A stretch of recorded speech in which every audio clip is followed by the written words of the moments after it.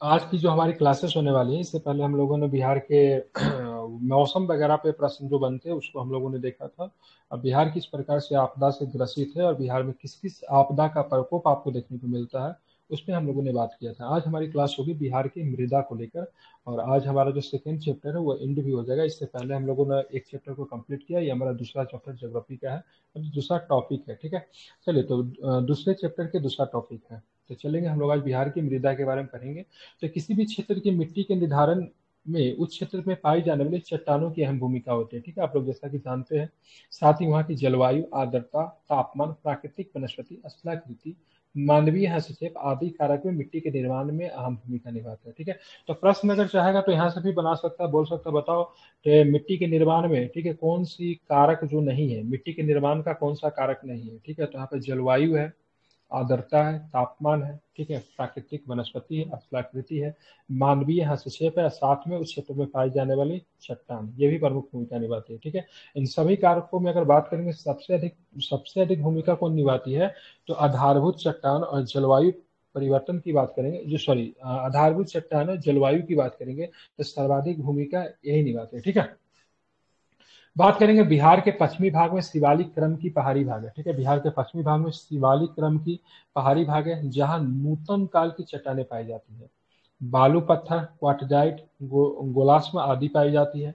यहाँ वनस्पति के अवशेषों तथा प्रदार चट्टानों के अंश से निर्मित मिट्टिया भिन्न किस्म की है ठीक है? ध्यान बिहार के दक्षिण पहाड़ी भाग में बिहार का दक्षिणी पहाड़ी भाग में स्थल रूप स्थल रूप दक्षिण के पठारी भाग में जो छोटा नागपुर पठार का उत्तरी विस्तार भाग है। तो बिहार का दक्षिण का जो पहाड़ी भाग है, वो छोटा नागपुर पठार का ही मतलब क्या है? तो उसी का उत्तरी विस्तार आपको देखने को मिलता है। ठीक है तो ध्यान रखिए यहाँ पर जो मिट्टी में, यहाँ का जो मिट्टी जो होगा तो उसमें कहीं ना कहीं से छोटा नागपुर के क्षेत्र में जो मिट्टी पाई जाती है, उसका आपको थोड़ा सा इसका प्रतिरूप देखने को मिलता है ठीक है? बिहार का सीमित दक्षिणी प्राची, भाग प्राचीन काल से निर्मित चट्टानों पर आधारित मिट्टिया है। इस भाग में कैमूर की पहाड़ी से बिंधे बिंधन काल की चट्टानों से प्रभावित मिट्टिया भी आपको देखने को मिलती है ठीक है? गया के पहाड़ी भाग में आर्कियन एवं धरवार काल की चट्टाने से प्रभावित मिट्टिया पाई जाती है। राजगीर क्यूल नवादा बांका की पहाड़ियों में सैल आग्नेय तथा क्वाटजाइट चट्टाने से प्रभावित मिट्टी आपको देखने को मिलती है। लेकिन इन सब सारी चीज़ों से प्रश्न नहीं बनता। प्रश्न सीधा सीधा मिट्टी से पूछा जाता है, जो कि नीचे आपको दिया हुआ है, बिहार की मृदा है। ठीक है? बिहार के विभिन्न भागों में मिट्टियों में जलवायु संबंधी परिस्थितियाँ का प्रभाव देखने को स्पष्ट आपको मिलता है। वर्षा आर्द्रता एवं तापमान के वितरण ने यहाँ की मिट्टियों के गुणों को मतलब क्या किया है? निर्धारित किया है। ठीक है? उत्तर पूर्वी भाग में, खास करके पूर्णिया, कटिहार और किशनगंज जिलों में अत्यधिक नमी है, जिस कारण यहाँ लाल मिट्टी का निर्माण होता है, ठीक है? तो बिहार का जो उत्तर पूर्व का जो भाग है, जो कि मुख्यतः बंगाल और मतलब क्या बोलते हैं, नेपाल के साथ सीमा वगैरह लगाते हैं तो वहाँ पे कौन सी मिट्टी मिलेगी? तो वहाँ पे आपको कौन सा मिट्टी मिलेगा? तो वहाँ पे लाल मिट्टी मिलेगा, ठीक है? उत्तर पूर्वी भाग में, खास करके पूर्णिया, कटिहार और किशनगंज तो तीनों को तीनों जिला की बात करें, बंगाल के साथ सीमा लगाता है, ठीक है? ये बंगाल के साथ जो जिला का जो सीमा लगता है, वहाँ पे कौन सा मिट्टी मिलेगा? लाल मिट्टी मिलेगा। कौन सा मिट्टी मिलेगा? तो यहाँ पे लाल मिट्टी मिलेगा, ठीक है? निर्माण प्रक्रिया की दृष्टि से बिहार में मुख्यतः दो प्रकार की मिट्टी पाई जाती है। एक है अवशिष्ट मिट्टी और दूसरा जो है प्रभाव प्रवाही प्रवाही या फिर जलोढ़ मिट्टी, जो कि नदियों के द्वारा मुख्यतः लाई जाती है, ठीक है? अवशिष्ट मिट्टी का निर्माण स्थानीय चट्टानों से होता है। कैसे होता है इसका निर्माण? इसका निर्माण की बात करेंगे तो स्थानीय चट्टानों से होता है, जबकि जलोढ़ मिट्टी नदियों के द्वारा बहाकर लाए गए अपसादों से इनका निर्माण होता है, ठीक है? तो बिहार में जो अवशिष्ट मिट्टी जो पाया जाता है, इसका निर्माण किसी से होता है? तो अपशिष्ट मिट्टी का निर्माण जो होता है, ठीक है, इसका निर्माण की बात करेंगे तो स्थानीय चट्टानों से होता है। क्या चीज़ होता है? तो स्थानीय चट्टानों से इसका निर्माण आपको देखने को मिलता है, ठीक है। अब बात करेंगे जलोढ़ मिट्टी की बात करें, जलोढ़ मिट्टी का निर्माण कैसे होता है? नदियों के द्वारा बहाकर लाई गई अपसादों से इसका निर्माण होता है, ठीक है। बिहार सरकार ने कृषि अनुसंधान विभाग के द्वारा बिहार सरकार ने कृषि अनुसंधान विभाग के द्वारा भौतिक, रासायनिक तथा संरचनात्मक विशेषताओं के आधार पर यहाँ के मृदा को तीन भागों में विभाजित किया, ठीक है? पहला मृदा कौन है? गंगा के उत्तरी मैदान का मृदा। पहला मृदा कौन है? तो गंगा के उत्तरी मैदान का मृदा। दूसरा जो है, गंगा के दक्षिणी मैदान की मृदा। और तीसरा जो है दक्षिणी पठार की मृदा ठीक है? तो बिहार में कितने प्रकार के, तीन प्रकार के आपको मृदा आपको देखने को मिलते हैं मुख्य रूप से। तीन भागों में विभाजित किए, तीन प्रकार का मृदा नहीं है, तीन भागों में विभाजित किया गया है। पहला जो है गंगा के उत्तरी मैदान का मृदा गंगा के दक्षिणी मैदान का मृदा और मतलब गंगा के दो मैदान है, दक्षिण, सॉरी, दक्षिण बिहार वाला हो गया, एक उत्तर बिहार वाला हो गया, ठीक है? दक्षिण बिहार में तो गंगा नहीं लेकिन दक्षिणी पठार की मृदा भी आपको तीसरा है, उसको आपको ध्यान में रखना है। आप देखेंगे गंगा के उत्तरी मैदान की मृदा में क्या खासियत है, क्या चीज़ आपको देखने को मिलता है, इनके बारे में हम लोग देखते हैं, ठीक है? तो उत्तर बिहार की मिट्टियाँ दक्षिण बिहार के मिट्टियों की तुलना में कुछ भिन्न है। मतलब उत्तर बिहार में जो मिट्टी जो आपको मिलता है और दक्षिण बिहार की मिट्टियों की तुलना में डिफरेंट आपको देखने को मिलता है, इसको आपको ध्यान में रखना चाहिए। क्योंकि उनकी निर्माण प्रक्रिया तथा नव निर्मित हिमालय के पहाड़ी से प्राप्त सैलो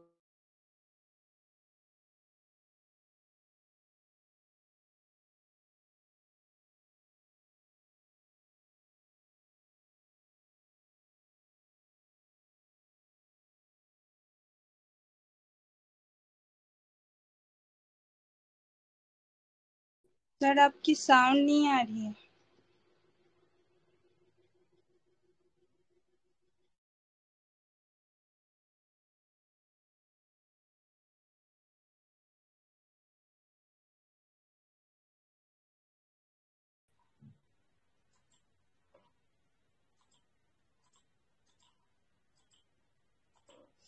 आवाज़ आ रही है अभी? हेलो ये लाइट कटेगा ना तो वाईफाई ऐसे ही छोड़ देता है बहुत परेशानी वाला चीज़ है, ठीक है? लाइट कटने के बाद इंटरनेट का कनेक्शन अपने आप गायब हो जाता है, ठीक है? अभी ठीक जा रही होगी आवाज़, ठीक है? तो मैं क्या बता बता रहा था, गंगा के उत्तरी मैदान की जो मृदा जो है, ठीक है? तो उत्तर बिहार की मिट्टी की बात करेंगे तो दक्षिण बिहार की जो मिट्टी है उसकी तुलना में कुछ भिन्न देखने को मिलती है। रीजन क्या है? क्योंकि उनकी निर्माण प्रक्रिया तथा नवनिर्मित हिमालय के पहाड़ी क्षेत्र से प्राप्त शैलों के अंश, ठीक है? हिमालय वनस्पतियों के अंश तथा सदाबहानी नदियों से प्रभावित बाढ़ क्षेत्र में प्रत्येक वर्ष काँप तथा बालू के जमाव की मिट्टियों की गुणवत्ता में ह्रास कम होता है, ठीक है? अब देखें, गंगा नदी के उत्तर में स्थित जलोढ़ मैदान में मिट्टी के निर्माण के अवसादी पदार्थ पूर्व में कोसी तथा महानंदा। ध्यान रखिएगा, गंगा नदी के उत्तर में स्थित जलोढ़ मैदान में मिट्टी निर्माण के अवसादी पदार्थ पूर्व में कोसी तथा महानंदा, ठीक है? मध्य भाग में अवधारा नदी तंत्र पश्चिम भाग में गंडक, ठीक है? बुढ़ी गंडक। घाघरा तथा इनकी सहायक नदियों के निक्षेप के रूप में प्राप्त होते हैं, ठीक है? तो गंगा नदी के उत्तर में स्थित जो जलोढ़ मैदान का जो मिट्टी का निर्माण है, उसमें अपसादी पदार्थ पूर्व में कोसी नदी हो गया तो पूर्व में आपको कोसी नदी आपको ध्यान रखिएगा और साथ में कौन महानंदा नदी, ठीक है? मध्य भाग में अवधारा नदी तंत्र तथा पश्चिम भाग में आपको क्या देखने को मिला? गंडक, बूढ़ी गंडक और घाघरा, और इनकी सहायक नदियों के निक्षेप के रूप में आपको देखने को मिलता है, ठीक है? हिमालय से निकलकर प्रभावित होने वाले इन नदियों के द्वारा भौतिक विखंडन से उपलब्ध बालू तथा गाद मैदानी भागों में अवसादों के रूप में जमा किए जाते हैं, ठीक है? उत्तरी उत्तरी मैदान की मिट्टियों में चार वर्गों में विभाजित किया गया कौन कौन है? अवशिष्ट मिट्टी है, तराई मिट्टी है, नवनिर्मित जलोढ़ मिट्टी और साथ में आपको डोमट मिट्टी आपको उत्तर बिहार में आपको देखने को मिलता है। कौन कौन मिट्टी है? तो उत्तरी मैदान के मिट्टियों में चार वर्गों में विभाजित किया गया अवशिष्ट मिट्टी, तराई मिट्टी नवनिर्मित जलौद मिट्टी और साथ में कौन सा? तो दोमट मिट्टी, ठीक है? अब देखिए, अवशिष्ट मिट्टी का क्वालिटी क्या होती है? तो अवशिष्ट मिट्टी की बात करेंगे तो बिहार के उत्तरी पश्चिमी भाग, खास करके पश्चिमी चंपारण के उत्तरी पश्चिमी पहाड़ी भाग में मिट्टी पाई जाती है। तो मुख्य रूप से पश्चिमी चंपारण का जो भाग जो वहाँ पे आपको कौन सा मिट्टी मिलेगा? तो अवशिष्ट मिट्टी मिलेगा। यहाँ की मिट्टी में काँप तथा जैविक पदार्थ की प्रधानता मिलती है, ठीक है? तो अवशिष्ट मिट्टी में किसकी प्रधानता मिलेगी? तो अवशिष्ट मिट्टी में आपको प्रधानता जो मिलेगी मुख्य रूप से तो किसका तो ध्यान रखेगा काँप ठीक है किसका? काँप तथा जैविक पदार्थों की आपको प्रधानता इस मिट्टी में आपको देखने को मिलती है। यह धान तथा गन्ना के लिए अनुकूल है। मिट्टी किसके लिए अनुकूल है? तो अवशिष्ट मिट्टी की बात करेंगे तो धान तथा तो गन्ना के लिए अनुकूल है। फिर से रिपीट कर रहा क्या? काँप मतलब क्या होता है? काँप मतलब। मिट्टी का टाइप है काँप। ठीक है? ध्यान रखेंगे तो यहाँ पे मतलब क्या, यहाँ की मिट्टी में काँप तथा जैविक पदार्थ की प्रधानता होती है, यहाँ धान तथा गन्ना के लिए अनुकूल क्षेत्र जो है सो आपको मिलेगा। इसीलिए पश्चिमी चंपारण की बात करेंगे, उत्तरी पश्चिमी भाग का जो हिस्सा, पश्चिमी चंपारण, बेतिया वाला हिस्सा जो वहाँ पे क्या मिलेगा तो गन्ना की खेती खूब से, खूब होती है और सबसे ज़्यादा होती है, ठीक है? अब आते हैं तराई मिट्टी, ठीक है? तराई की मिट्टी की बात करेंगे तो तराई मिट्टी का निर्माण हिमालय के नदियों के द्वारा लाए गए अवसाद या फिर तलहटी तलहटी पदार्थों को एकत्रीकरण के अपसाधन से होता है। इस प्रकार की मिट्टी नेपाल की सीमा के साथ साथ पूर्व में किशनगंज से लेकर उत्तर में चंपारण की पहाड़ियों तक सात से आठ किलोमीटर चौड़ी पट्टी में ठीक है? तो ध्यान में आपको रखना ये जो तराई की जो मिट्टी जो है, ठीक है? तराई की जो मिट्टी जो है, सो मतलब कहाँ पे आपको देखने को तराई मिट्टी का निर्माण हिमालय, ठीक है? ध्यान में हिमालय के नदियों के द्वारा लाए गए अपसाद।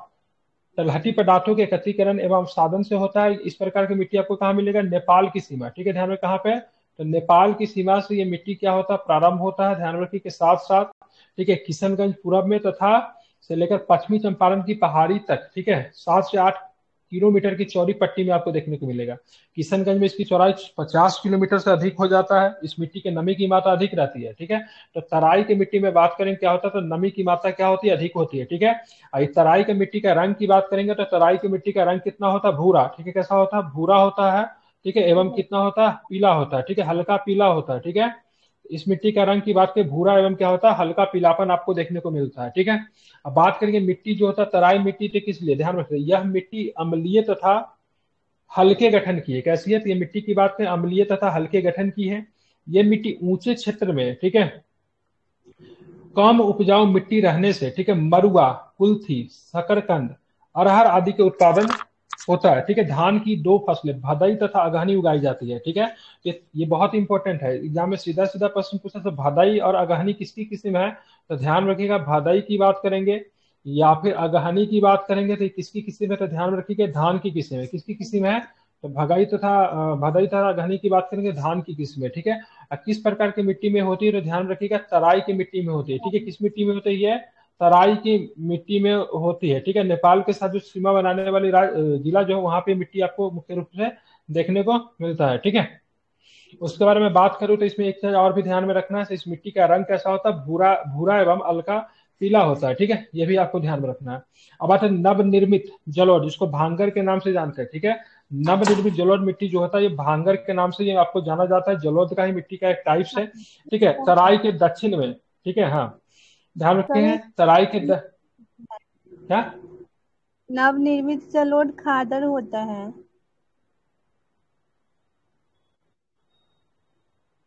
गलत दिया है अच्छा यहाँ पे गलत दिया है गलत गलत लिख दिया ठीक है? ठीक है ये डाउटफुल है यहाँ पे ठीक है? चलिए।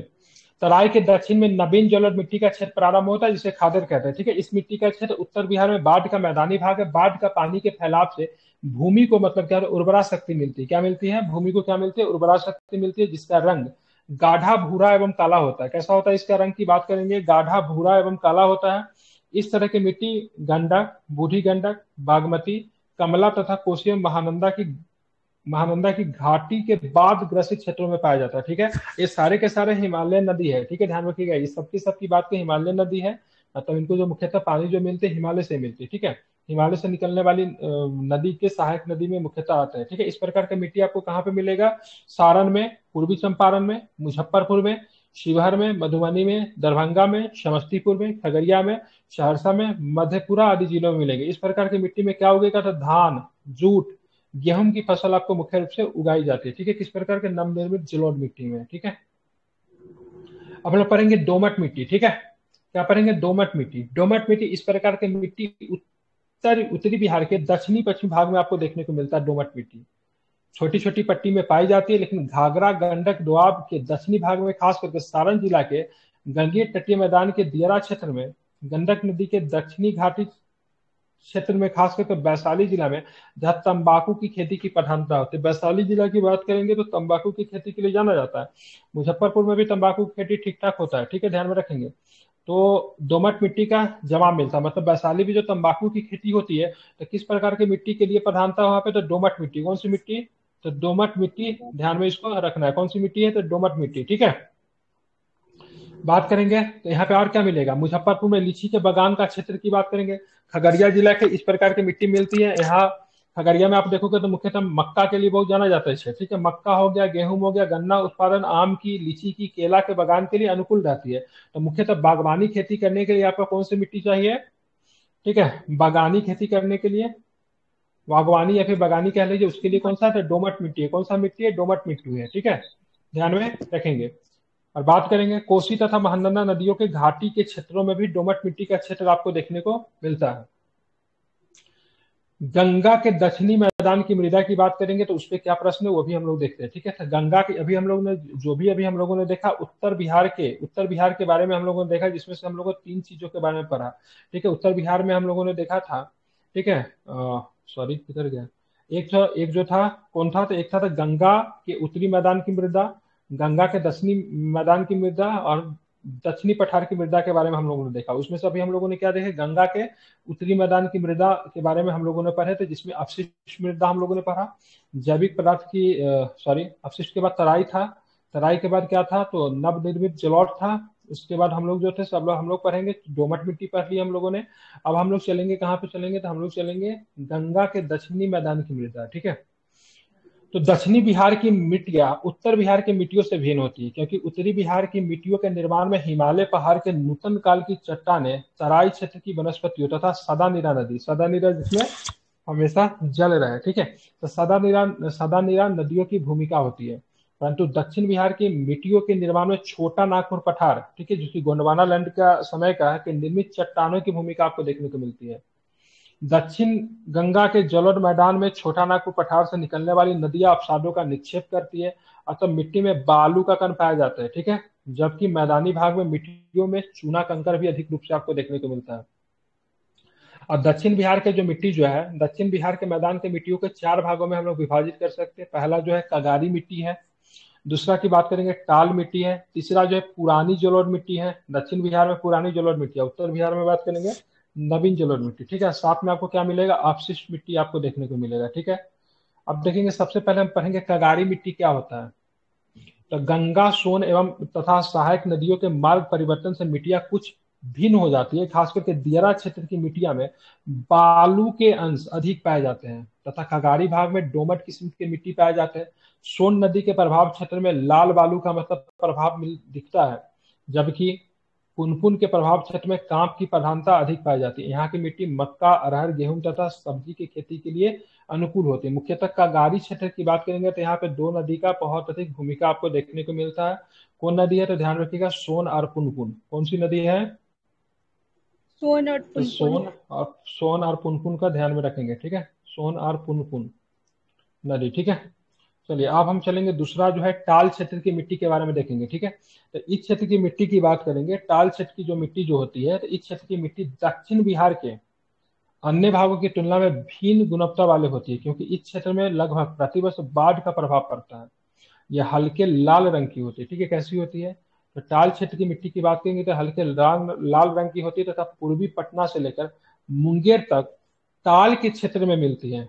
लोम तथा केवाल है, ठीक है यह काफ़ी उपजाऊ मिट्टी होती है, ठीक है।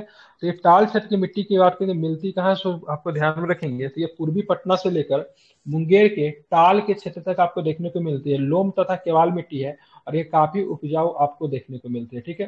तो टाल क्षेत्र की मिट्टी जो है दक्षिण बिहार की मिट्टी है, ये भी आपको ध्यान में रखना है। अब आते हैं पुरानी जलोढ़ मिट्टी जैसे करेल या फिर कैवाल के भी नाम से जानते हैं, ठीक है? तो इस प्रकार की मिट्टी दक्षिण बिहार के उन भागों में पाई जाती है जहाँ बाढ़ का पानी नहीं पहुँचता। तो पुरानी जलोढ़ मिट्टी या फिर करेल या कैवाल किसको बोलते हैं? तो दक्षिण बिहार में आपको मिट्टी मिलती है। रीजन क्या है वहाँ पे मिलने का? क्योंकि वहाँ पे बाढ़ का पानी क्या होता है?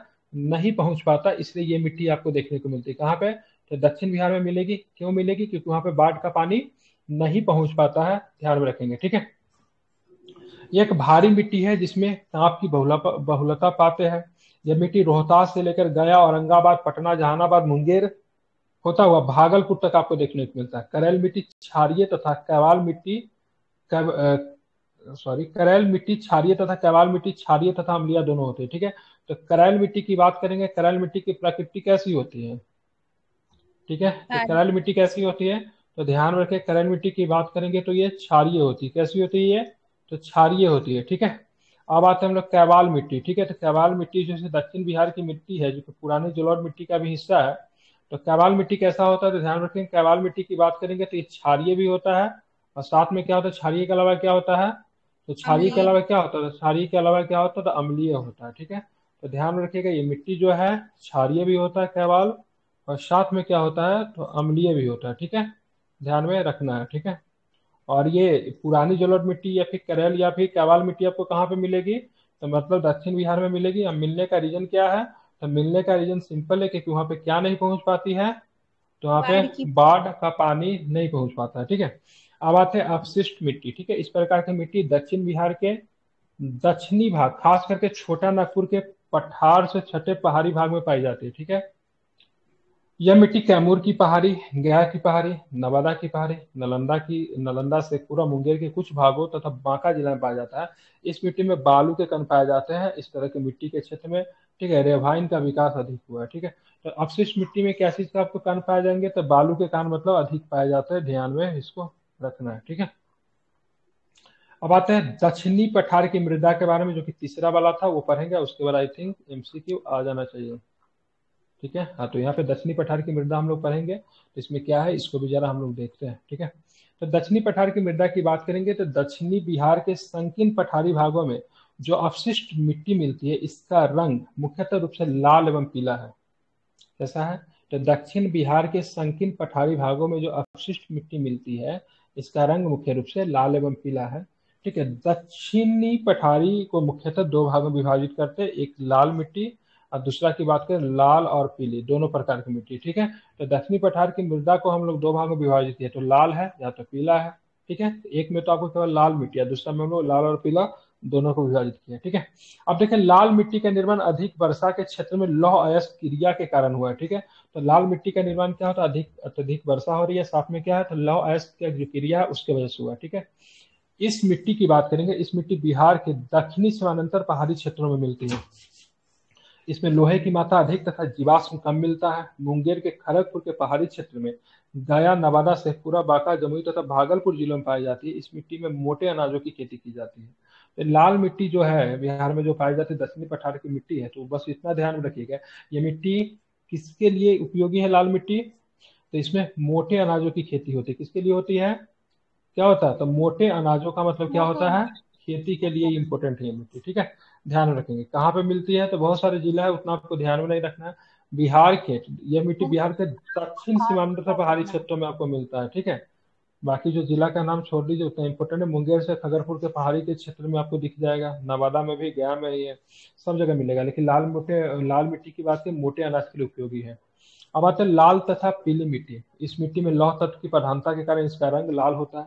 यह मिट्टी कैमूर पठार और गंगा सोन द्वाब के संधि स्थल पर पाई जाती है।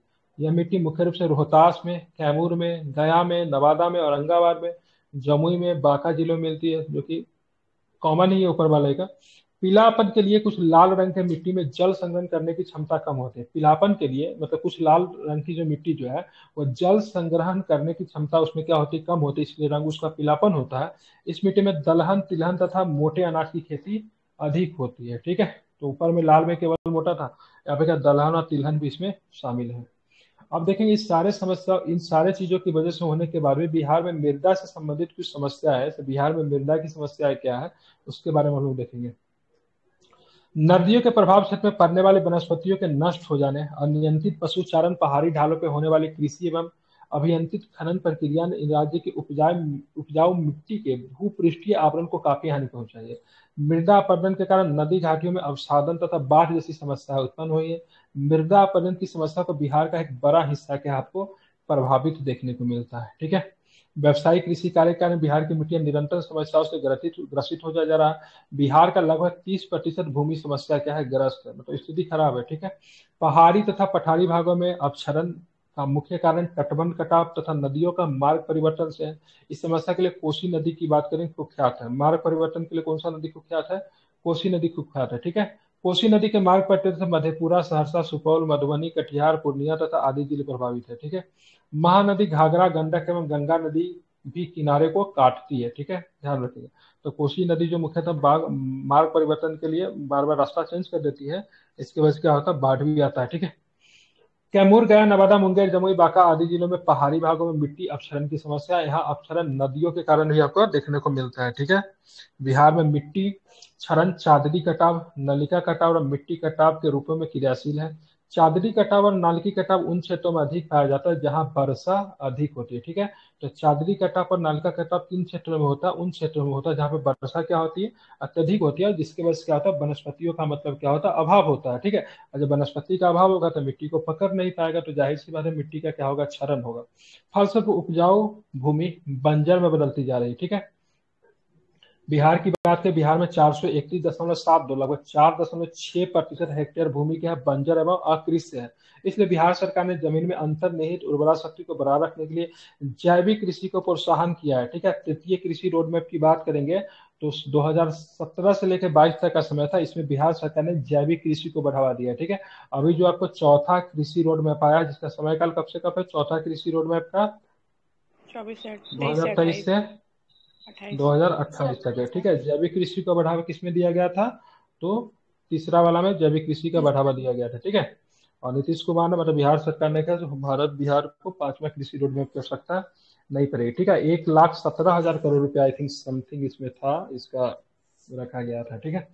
बिहार में सर्वाधिक बंजर कृषि की बात टोटल कितना है? चार दशमलव छह हेक्टेयर जो है बंजर है। उसमें सबसे बड़ा बंजर की बात करेंगे तो सबसे ज़्यादा बांका में है, ठीक है, ध्यान रखिए सबसे ज़्यादा बांका।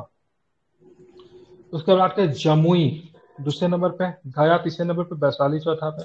शेखपुरा में सबसे कम है, ठीक है इतना ही मात्र है, ठीक है। तो सबसे ज़्यादा बंजर भूमि की बात करेंगे तो बांका में, बफर बांका, बफर बंजर, ठीक है। तो बंजर बजा होता है ना तो बजा शुरू में ही है, ठीक है, बांका और जमुई, ठीक है। ध्यान रखिए, बंजर भूमि सर्वाधिक यहीं पे टोटल कितना है तो four point six total land का फोर पॉइंट सिक्स चार दशमलव छह प्रतिशत आपको देखने को मिलता है, ठीक है? अब मृदा संरक्षण के उपाय क्या है? तो बेसिक क्वेश्चन आप लोग को पता ही होगा, ठीक है? सबसे पहले प्रति भूमि पर घास एवं पेड़ लगाकर मृदा के कटाव को रोका जा सकता है, पर्वतीय ढालों पर वृक्षारोपण किया जा सकता है परिरेखीय जुटाई तथा मिट्टी के कृषि प्रति पे बल दिया जा सकता है, पर्वतीय ढालों पर सीटी नुमा खेत बनाकर कृषि किया जा सकता है, पता ही आपको, ठीक है? उसके बाद बात करेंगे तो तीव्र ढलान तीव्र ढलान पर अवरोधक बाँध का निर्माण किया जा सकता है ताकि अवनायिका अपर्दन को रोका जा सके। फ़सल चक्र की प्रक्रिया अपनाकर मृदा की उपलब्धता को बनाए रखने का प्रयास किया जा सकता है। अतिचारण पर नियंत्रण किया जा सकता है। वृक्षारोपण के माध्यम से वायु रोधक प्रणाली का विश्वास मतलब बढ़ावा दिया जा सकता है मतलब आंधी तूफ़ान को बहुत हद तक रोका जा सकता है, उससे भी मिट्टी का क्या होता है? क्षरण होता है। अब हम आते हैं मिट्टी कहाँ पे कौन सा मिट्टी पाया जाता है, उस पर हम लोग देखेंगे। तो सबसे पहले हम लोग तराई वाली मिट्टी की बात की इसमें क्या होता है? रेत एवं कंकर युक्त होता है, भूरा एवं हल्का पीला रंग होता है। कहाँ पे मिलेगा? तो चंपारण एवं किसान के क्षेत्र में मिलेगा। किस लिए? तो धान के लिए पटसन के लिए उपयोगी होता है। बाल सुंदी मिट्टी की बात की या फिर डोमट मिट्टी कहते हैं बाल सुंदी इसमें क्या चूना एवं क्षार युक्त होता है, ठीक है? गहरा, भूरा एवं सफ़ेद होता है। धान एवं गन्ना की खेती के लिए बहुत इंपॉर्टेंट होता है, ठीक है? कहाँ पे मिलेगा? तो सहरसा, चंपारण, पूर्णिया, मुजफ्फरपुर, मधेपुरा, दरभंगा में मिलेगा सारण में। खादर या नवीन जलोर ठीक है? यहाँ पे सही लिखा है। खादर और नवीन की बात करेंगे ध्यान रखें, चूना एवं क्षार की कमी होती है, गहरा एवं ये बहुत पूछा जाता है। चूना एवं क्षार की कमी होती है, ठीक है? खादर एवं नवीन जलोर कहाँ पे मिलेगा? तो मुजफ्फरपुर, मुंगेर, सहरसा, पूर्णिया चंपारण, दरभंगा, भागलपुर में मिलेगा। जूट, गन्ना, गेहूँ, धान, मक्का, चना अरहर के लिए इंपॉर्टेंट होता है। पुराने जलोट को बांगर कहते हैं। क्षारिय व अम्लीय होती है, ठीक है? ध्यान रखेंगे ठीक है? ऊपर में क्या था? क्षारिय ध्यान में रखेंगे, ऊपर में क्या था? चूना एवं क्षार की कमी होती है। यहाँ पे क्या है? ये क्षारिय भी है और अम्लीय भी है, ठीक है? रंग, गहरा, भूरा होता है। ये क्या गया, दरभंगा, रोहतास में मिलेगा, ठीक है? गया, पटना, रोहतास में मिलेगा। सॉरी किसलिए धान, गेहूँ, अरहर और बाजरा के लिए जानी जाती है। ताल वाले मीटर के रंग की बात करेंगे तो दूसरा रंग का होता है। पटना के आसपास मिलेगा, पटना मुंगेर बाढ़ वाला जो इलाका मगध का क्षेत्र पहले मगध का क्षेत्र सॉरी मगध नहीं, पटना, बाढ़ और मुंगेर एवं भागलपुर में आपको मिलेगा। टाल वाला मिट्टी जो है तो मुख्यतः अरहर के खेती के लिए दलहन, तिलहन और गेहूँ के लिए जानी जाती है। बल्थर या फिर लाल पीला मिट्टी की बात करें तो कैमूर के क्षेत्र में मिलता है। ये क्या होता है? इसमें ध्यान में रेत एवं कंकर एक होता अम्लीय एवं लाल होता है, ठीक है? तो इसमें मोटा अनाज की खेती आपको देखने को मिलती है, ठीक है? अब आता है परीक्षा उपयोगी क्वेश्चन की हम लोग बात करते हैं आंसर किसी ने खोल लिया है क्या? आंसर खोले आंसर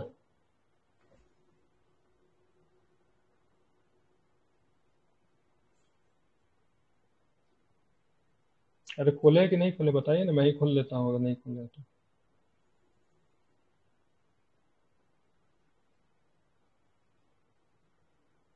आंसर खोल के रखें, मिलाइए इसका आंसर ठीक है?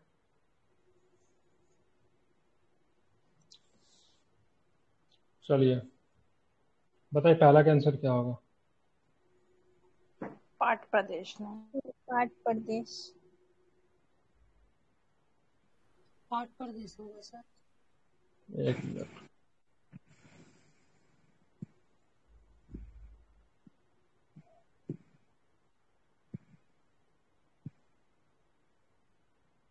तो, तो पहला का आंसर क्या हो जाएगा? पार्ट प्रदेश ऑप्शन नंबर क्या हो जाएगा? तो ऑप्शन नंबर सी आपका सही है ठीक है?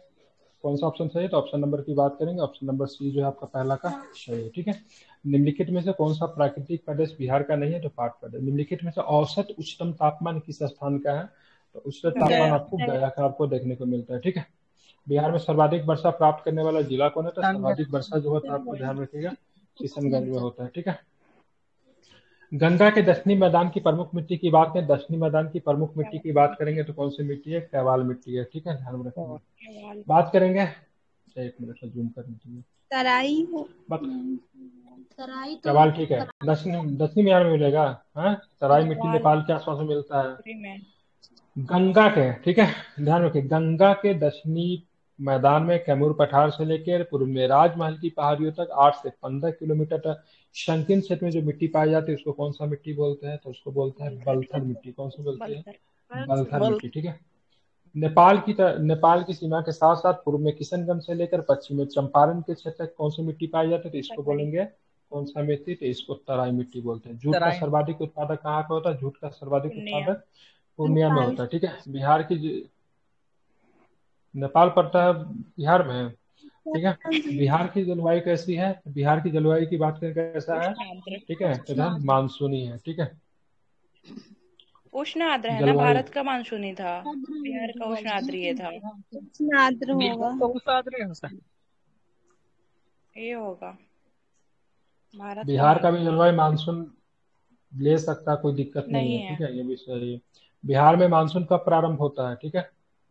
बिहार में मानसून कब होता है जुलाई के मध्य में ठीक है? ध्यान रखेंगे ठीक है? सॉरी गलत है। जून के मध्य जून जो होता है। जुलाई के आरंभ में ठीक है? ध्यान रखें जुलाई के आरंभ में किधर गया रे?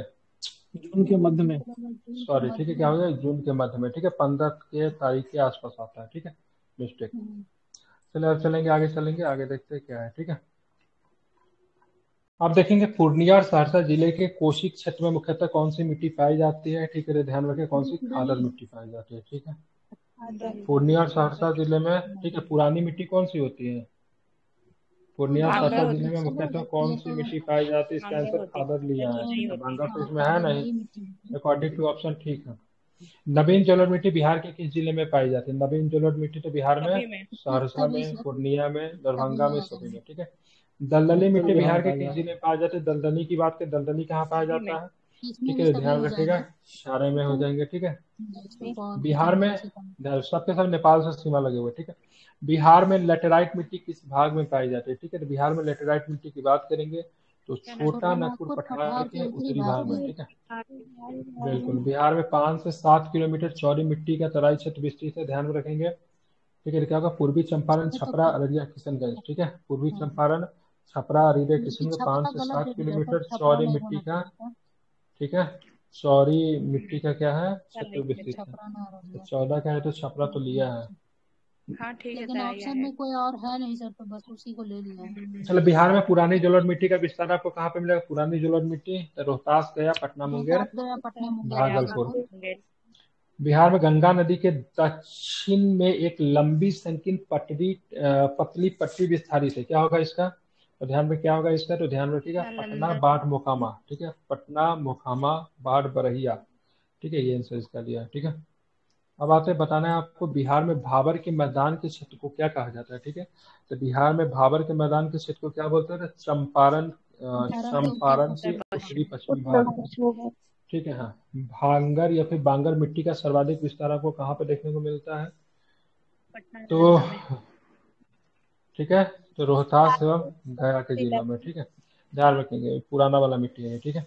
बिहार में जलोढ़ मिट्टी का प्रमुख फ़सल कौन सा? जलोढ़ में कौन सा प्रमुख फ़सल होता है? तो धान गेहूँ ईख गन्ना अरहर और बाजरा। काप मिट्टी की प्रधानता बिहार के किस ज़िले में? काप। काप मिट्टी कहाँ पे मिलेगा? तो काप मिट्टी मिलेगा ध्यान रखेंगे ठीक है? तो ध्यान रखें भागलपुर ठीक है? क्या लिया इसका? भागलपुर ठीक है? बिहार में अधिकांश भाग आच्छादित है। किसी से आधारित है? बिहार का अधिकांश भाग तो ध्यान रखेंगे। कछारी मिट्टी से ठीक है? बिहार में जलवायु में कितने मौसम प्रचलित है? तो बिहार की जलवायु में कितने मौसम ठीक है? तो शीत ग्रीष्म वर्षा ठीक है? बिहार में सर्वाधिक मानसून प्राप्त होती है। बिहार में सर्वाधिक मानसून किससे प्राप्त होती है? तो ध्यान में रखेगा बंगाल की खाड़ी से ठीक है? ध्यान रखिए क्या होगा? बंगाल की खाड़ी से इसका आंसर है ठीक है? बिहार में मानसून लौटना कब प्रारंभ होता है? तो अक्टूबर मंथ में तो अक्टूबर का क्या हो जाएगा? तो अक्टूबर के मध्य में। ठीक है?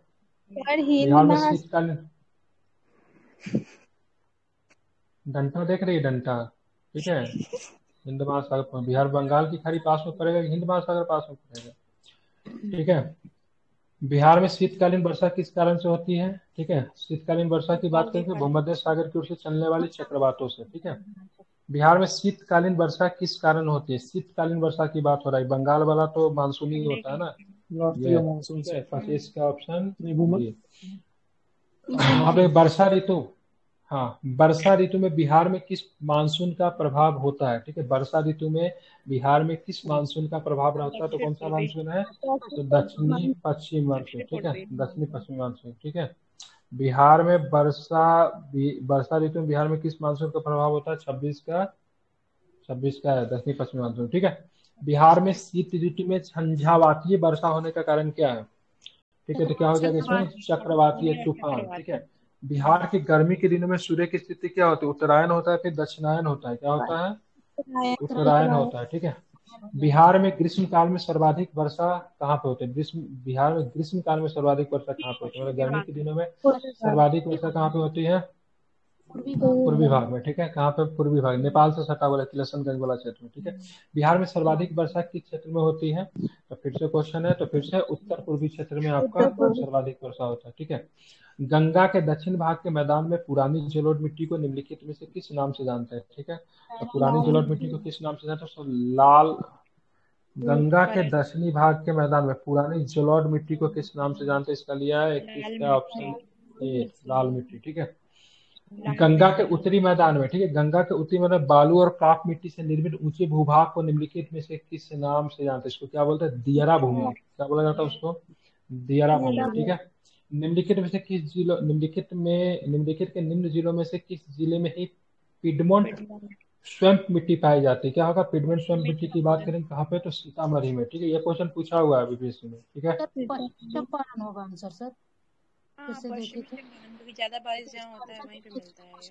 मेरे पास जो आंसर है उसमें सीतामढ़ी लिया एक चेक कर लीजिए। इसका लिया तो बीपीएससी था पश्चिमी चंपारण। पश्चिम पश्चिम चंपारण था। हम्म, नहीं होगा। बीपीएससी में तो पूछा हुआ है तो मुझे ध्यान है कि आंसर क्या मुझे नहीं पता। जी पश्चिमी सर चंपारण है।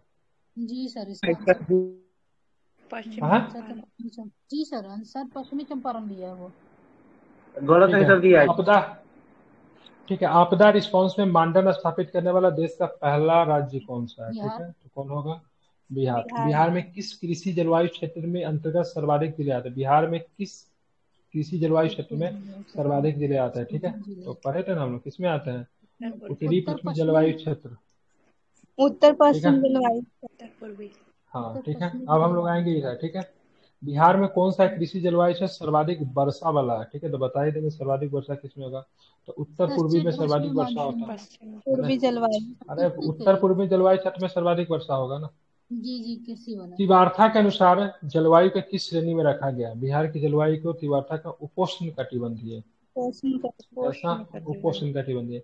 मानसून का आगमन बिहार के किस ज़िले में सबसे पहले होता है? ठीक है? सबसे पहले किशनगंज। किशनगंज।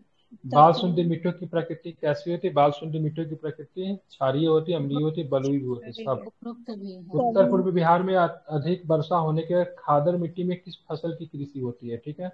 तो कपास की खेती होती है ठीक है? क्या होती है? कपास। की खेती होती है ठीक है? कपास लिया है ठीक है?